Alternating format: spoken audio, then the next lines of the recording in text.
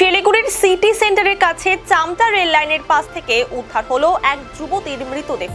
ঘটনায় চাঞ্চল্য ছড়ালো এলাকায়। মৃতার নাম কবিতা। কুরানের কাজ করত যুবতী।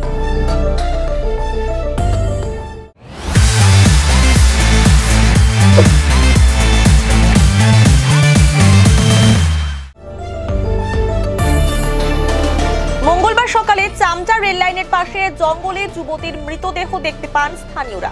এরপর খবর দেওয়া হয় মাটিকারা থানার পুলিশকে। পুলিশ পৌঁছে মৃতদেহ উদ্ধার করে ময়নাতদন্তের জন্য উত্তরবঙ্গ মেডিকেল কলেজ ও হাসপাতালে পাঠিয়েছে পুলিশ সূত্রে খবর, মৃতার মাথায় আঘাতের চিহ্নের পাশাপাশি পায়ের হাত ভাঙা রয়েছে।